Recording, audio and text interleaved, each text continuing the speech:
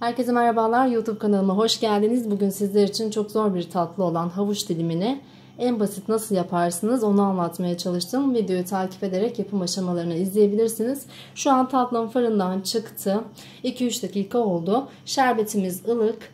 Ben hemen şerbetini dökerek tatlımızı bitirmek istiyorum.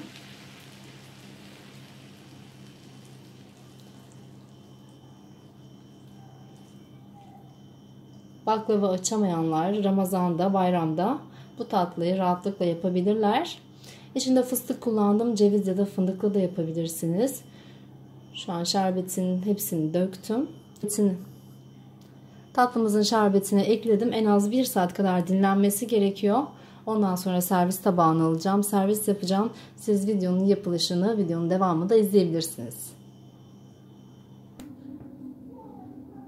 Hemen şerbetin yapılışıyla başlamak istiyorum. 3,5 su bardağı 200 milimlik klasik su bardaklarında şeker ekliyorum. 3,5 su bardağı da suyunu ekliyoruz. Ocakta şerbetimizi kaynatıyoruz. Kaynamaya başladıktan sonra 1-2 damla limon sıkıyoruz. Ondan sonra ılınmaya bırakıyoruz. Şerbetimiz ocakta kaynıyor. Ben şimdi baklavamızın yağını eritmek istiyorum. Bunun için 200 gram tereyağı, yarım su bardağı da sıvı yağ ekliyoruz ve ocakta güzelce köpürene kadar tutmamız gerekiyor. Tarifimizde baklavalık yufka kullanıyoruz. Yufkalarımızı açalım elimizle. Şöyle düzgün bir şekilde jelatininden de çıkartalım.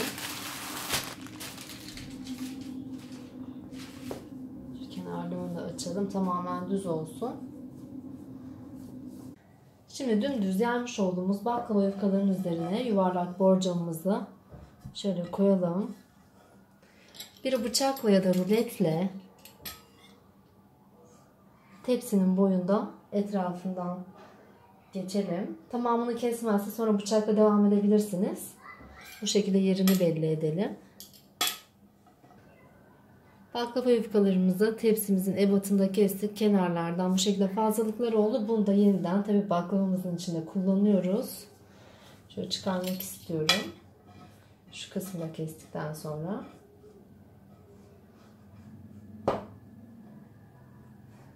Tabii çok kalın üst üste yufkalar olduğu için biraz zor kesiliyor ama hallettim sanırım.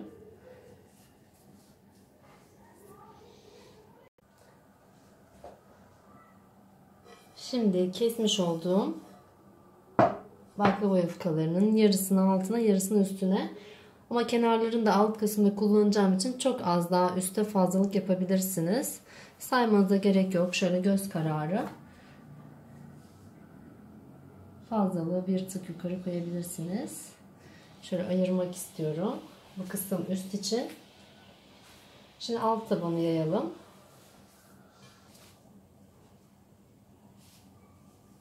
Şöyle tek tek yufkaları koyuyoruz.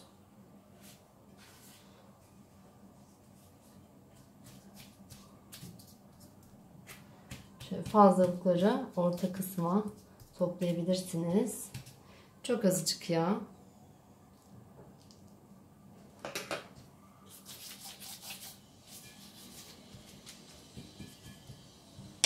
İkinci katı koyuyorum.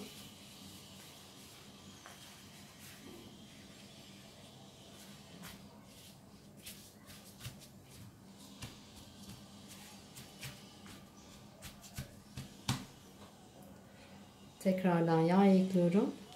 Yapmış olduğum şimdi kenarları tabii ki israf etmiyoruz onları da mümkün olduğunca düzgün bir şekilde baklavamıza yerleştiriyoruz. Şöyle hepsini sıra sıra diziyoruz. Piştiğinde bu çok fazla belli olmayacaktır. Şimdi tam baklavamızın orta kısmına geldik. Ben fıstıklı yapacağım demiştim. 2 su bardağı fıstık var. Görmüş olduğunuz gibi yine isterseniz 2 su bardağı kadar ceviz, fındık ekleyebilirsiniz. Şöyle döküyoruz hepsini. Ve elimizle şöyle tepsiye değmeden yufkaların üzerinde kalacak şekilde elimizde yayalım.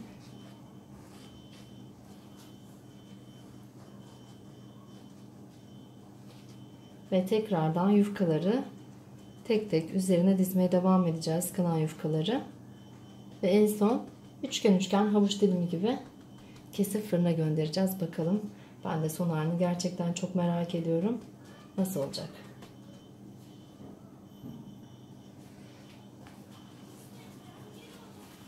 Yine fazlalıkları şöyle hafif ortada toplayalım. Hep aynı yere gelmesin. E, eşit bir şekilde yüksekliği olması için tekrardan çok azıcık yağ ekliyorum. Ve diğer yufkaları yine ekliyoruz üst üste. Bu sefer de fazlalığı bu kısmı aldım.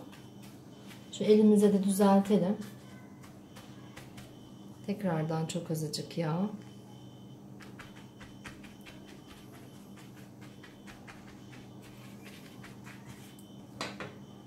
Ve bu şekilde yine devam ediyoruz. Yufkalarımız bitene kadar baklavamızı hazırlamaya devam edelim.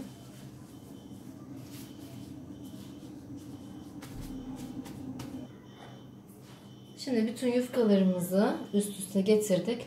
Şu kenarları havada bunları bir bıçak yardımıyla böyle içe içe ittirmemiz gerekiyor. Yoksa pişerken buraları havaya kalkacaktır. Çok hoş bir görünüm olmaz.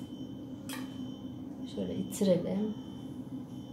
Bir bıçakla tam ortadan şöyle bir artı yapalım.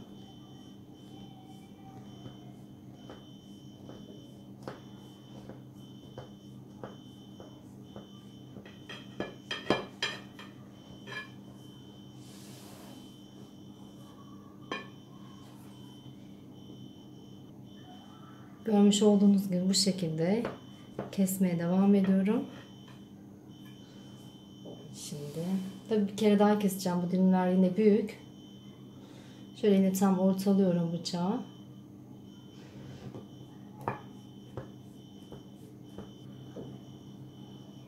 Havuç dilimi baklavalarımızı güzelce kestik. Şimdi kalan yağı da ben şöyle güzelce üstüne yaymak istiyorum. Bu arada fırınımızı 180 derecede açabiliriz. Fanlı ayarda pişiriyoruz. Fırınımızı önceden ısıtalım. Güzelce kızarana kadar fırında tutacağız. Tatlımız da bu arada altını kapattım. Şu an ılınmaya geçti. Çok soğuk olmasına gerek yok şerbetimizin. Biraz ılık olabilir. Tatlı da fırından çıktıktan sonra ve 5 dakika sonra ilk sıcağı çıktıktan sonra şerbetiyle tatlıyı birbirine kavuşturacağız. Tatlılarımızı servis tabağımıza aldık. Görünümü bu şekilde. Birazcık daha ben fıstık eklemek istiyorum. Aslında kaymaktan çok iyi olurdu ama şu an elimde kaymak yok. Şöyle üzerine tamamen Anteplilerden esinlenerek. Tabii ben onlar kadar yine bonkör koymuyorum. Onlar e, hamurdan çok fıstık koyuyor. Ben şöyle biraz daha serpiştireyim üzerine. Keşke kaymak da olsaydı ama siz mutlaka kaymakla deneyin derim.